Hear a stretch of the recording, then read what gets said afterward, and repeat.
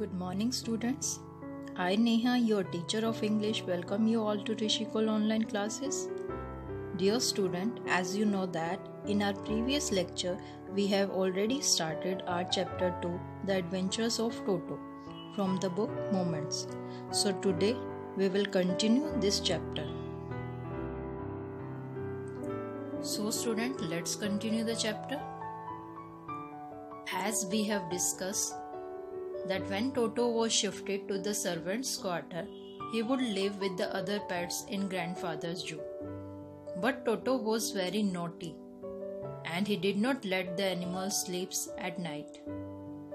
And the next day, grandfather had to leave for Saharanpur, so he decided to take Toto along as he was unmanageable. Only the grandfather could control him. See the next stanza.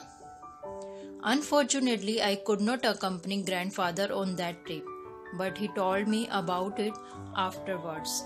In this stanza, the writer said that he was disappointed as he could not accompany his grandfather and Toto on that trip.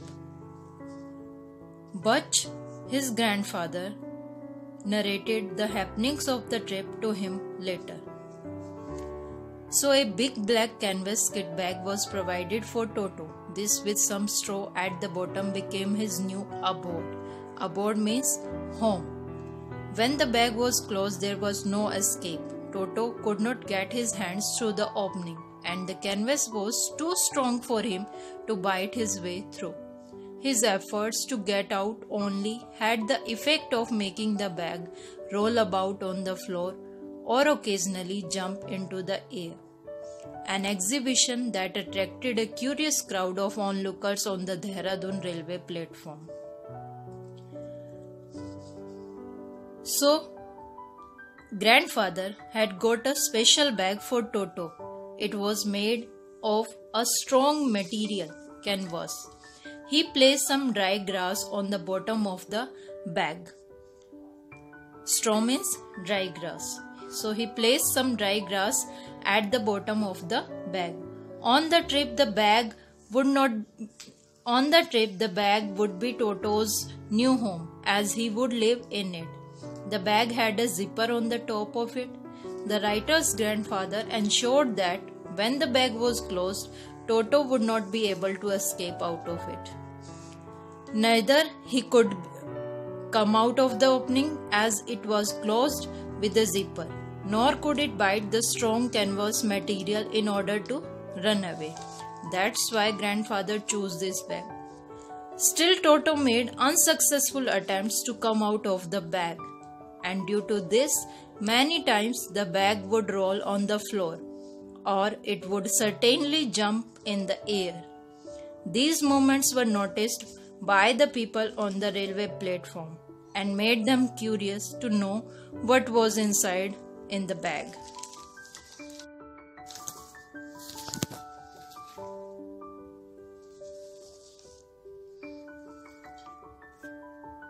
Toto remained in the bag as far as Saharanpur, but while grandfather was producing his ticket at the railway turnstile, Toto suddenly poked his head out of the bag and gave the ticket collector a wide grin.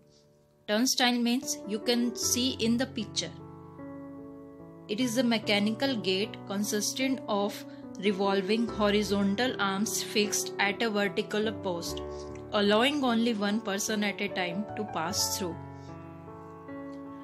So, Toto remained secured in the bag till Saharanpur. At the Saharanpur station, the writer's grandfather was taking out his ticket to cross the turnstile. At that time, Toto peeked out of the bag and smiled at the ticket collector. The poor man was taken aback. Here, the poor man refers to the ticket collector. The poor man was taken aback, but with great presence of mind and much to grandfather's annoyance, he said, Sir, you have a dog with you. You will have to pay for it accordingly. Annoyance means to anger someone. The ticket collector was astonished to see a monkey in grandfather's bag. bag. He recovered quickly and asked grandfather to pay the ticket money for traveling with the dog.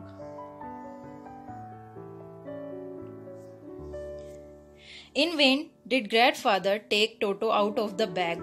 In vain did he try to prove that a monkey did not qualify as a dog or even as a quadruped.